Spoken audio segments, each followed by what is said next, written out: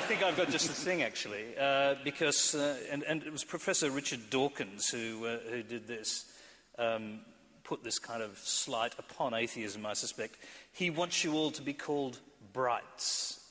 I guess because you're brighter than the rest of us. Yes. I wish, I really wish, I say in my book, he and Daniel Dennett, another great scientist and teacher, I really wish they hadn't done that, because I think it's wrong perhaps three ways. I mean, no one could say Father Lemaitre was stupid, for example.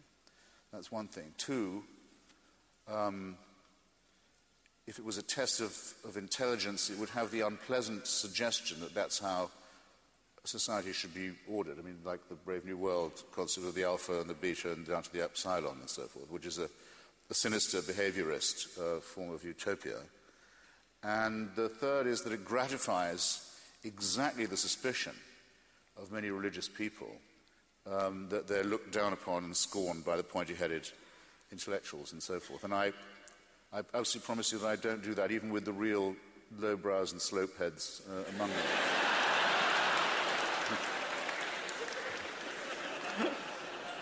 They're my fellow primates too.